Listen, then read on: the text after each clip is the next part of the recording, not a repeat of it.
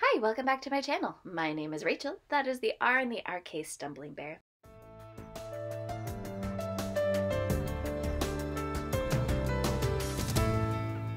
And I am here to do the booktube tag A to Z, hot or not. I was tagged to do this by Margaret, and her video will be linked down below, as will the original creator's video. And for this, we're just going to go through the alphabet. There's a word associated with each letter, and I get to tell you whether hot, meaning I like it, or not, meaning I don't. So, jumping on in. First one is A, audiobooks. And for me, that is a not. I'm not a big audiobook fan. I'm very, very picky when I'm listening to something, and the majority of the time when I've tried an audiobook, it has not worked well for me. I find that most audiobook narrators are trying to do voices or they will inflect on a word in a sentence that I don't think they should. I would rather my audiobook narrator just read the book and let me put the inflection on or let me like do the little voices in my own head. So, yeah, audiobooks not. B. Bildungsroman, and I probably butchered that, but it's dealing with a person's formative years or spiritual education. And I'm going to say hot.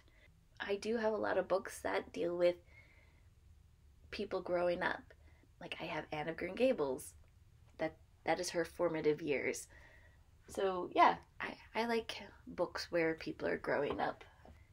C. Children's books. Hot.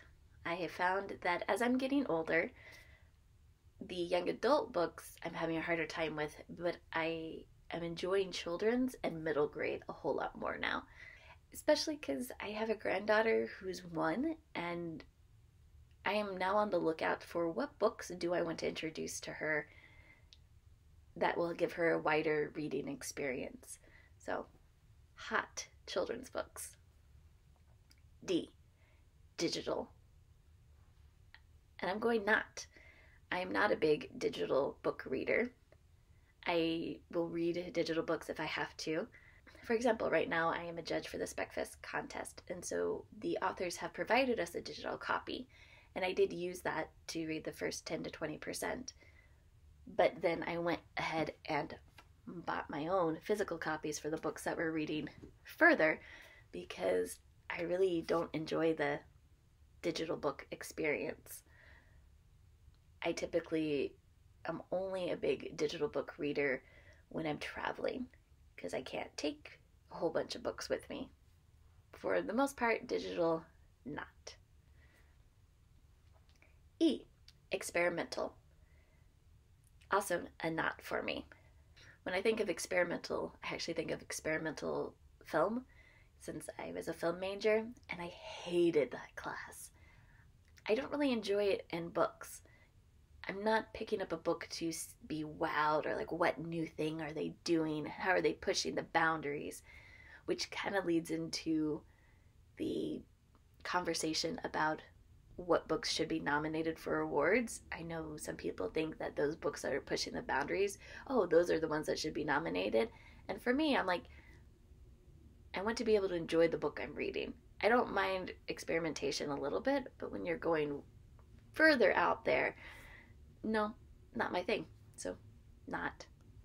Which I know might be surprising since I love science fiction, but I like that the technology in the book is interesting, not that the reading experience is experimental. F. Fantasy. Hot. Yeah. Most of what I read is fantasy or science fiction. For me, there is a difference.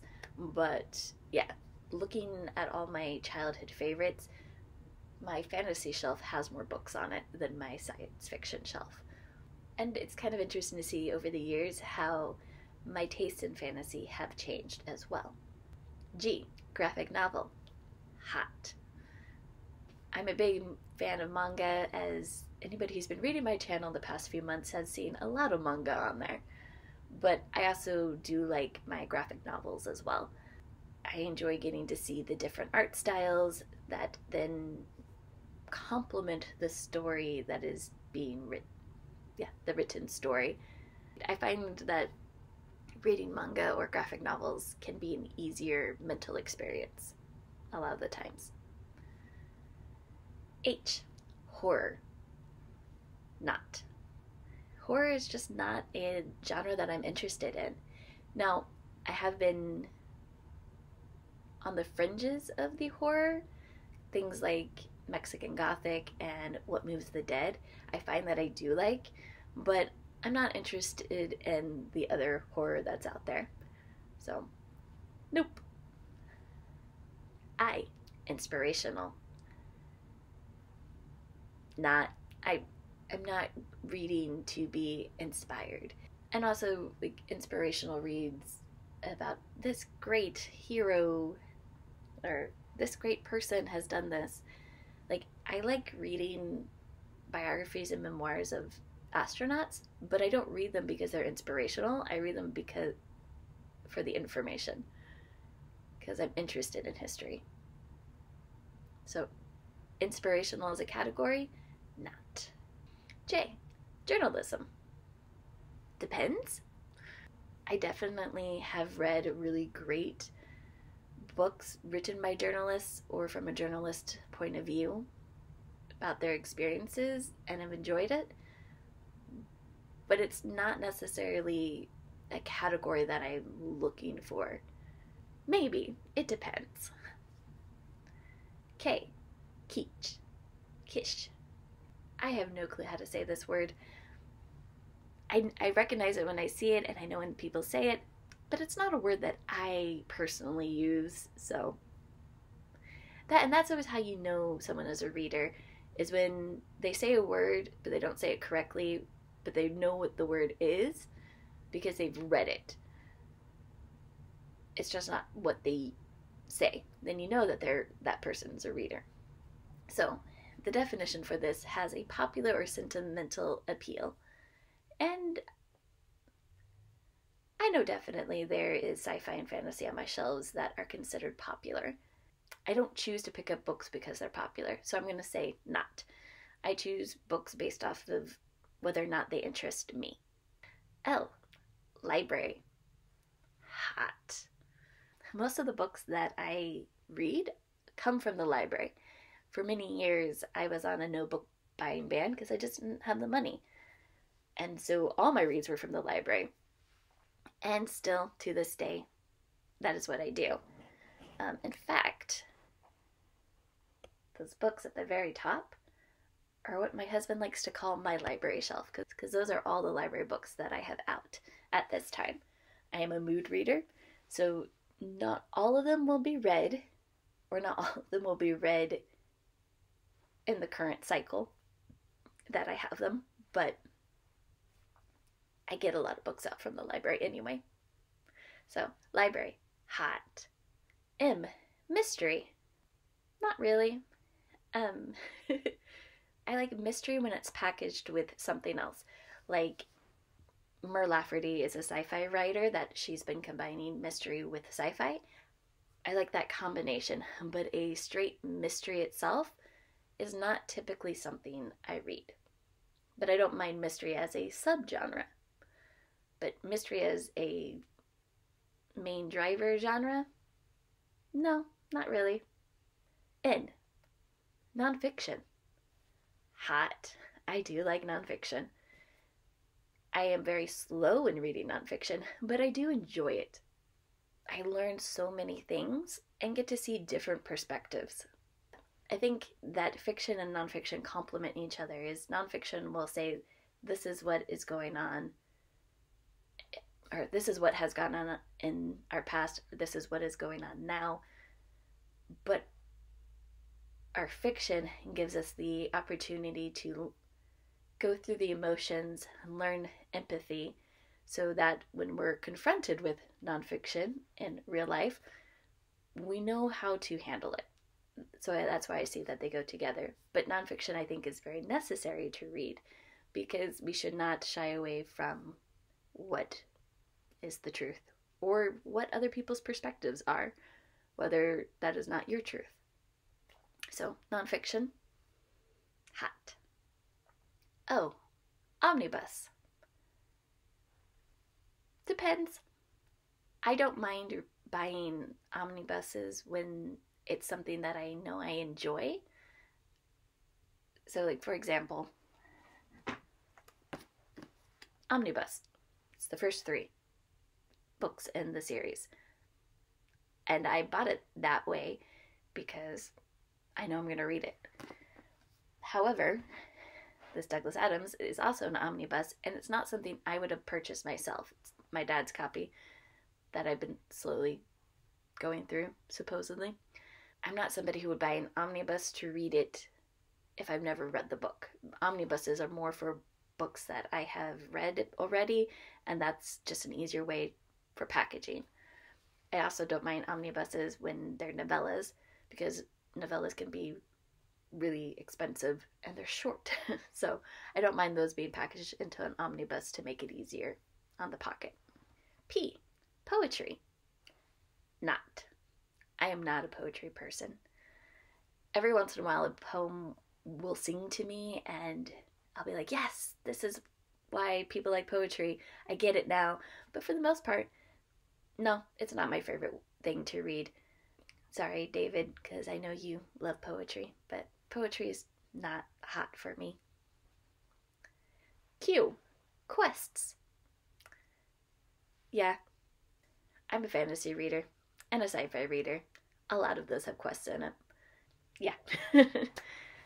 so, quests Pretty much, yes. Romance. Also hot. I do like romance as a main category. I like my romance also packaged in my fantasy and my sci fi. I am more of a fan of historical romances than contemporary romances, but it just depends how they're written. Oh, one of my author tuber friends, Emma Bennett, I've been enjoying her romances. They're, you know, kind of novella size actually for me, but they feel more real, like how people would actually behave in a romance, and I like that. So those are fun. So, romance, hot. Science fiction, hot. I don't think I really need to explain this one more because I am a big sci fi reader. Hot. T. Translation. Books translated from one language to into another. Hot.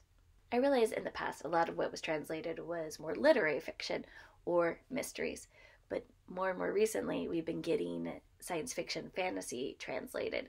I'm enjoying getting to read more science fiction fantasy from other places in the world and I get to do that when it gets translated because my Spanish is rudimentary. I speak kid Spanish. I read kid Spanish for the most part. I love translated books. Hot. You. Ubermensch. The Superman or the extraordinary human. Characters who can. I'm not certain. This one might be uh, either or. I mean, I like characters who are competent. I think those are good. But if all they are is superhuman and they can do everything, everything that comes with them, that's kind of a boring story. If nothing, or if they don't have any challenges or any weakness. So maybe this one kind of falls more on the not so much.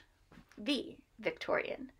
And this is literature from 1837 to 1901 yeah, we're gonna go not just because I don't have any on my shelf that I recognize off the top of my head. W. Western. Also not. For me, Westerns are more about manifest destiny and white men killing Indians. And they're not my thing. Not at all. Not. X, X rated. And I'm guessing this has to do with romance? Well, how about this? I'm going to take this as having to do with romance because if it's horror X rated, it's a not. But if it is romance X rated, I don't mind. Uh, I guess it depends. I don't do dark romances, so maybe with X rated we're gonna go not. For horror and for dark romances, no. Why? Young adult. And at this point of time in my life, I'm gonna say not. The thinking processes of the characters drive me nuts. And I know at one point of time I enjoyed it. I mean, I'm still able to read some of my favorite young adult series that are still on my shelf, but I think that's because they don't fall into the typical young adult shticks that are more common in the age category. Because young adult is an age category, it's not a, a genre. But there are certain tendencies that young adult books have that young adults and teens find appealing to them. But when your brain chemistry has switched, they're not appealing anymore. So, young adult, not. And Z, zeitgeist, spirit or mood of the times. And, I mean, to me, this kind of makes me think of the popular books again and not. I don't mind books like the Kaiju Preservation Society, which talk about COVID and you know what life is like during that, with the fantasy or with the science fiction story happening as well. That's fine, but if it's specifically just focused on whether or not it's popular of the time, then it's a no. And it could be I'm just misunderstanding this word. So that is the end of the alphabet and the end of my hot or not. If you agree with me or disagree with me, please let me know down below because this was fun. Also, if you are interested in doing this at all, I definitely think you should be tagged. And if you do do this, please leave me a link down below so that I can go watch. Thank you and have a great day.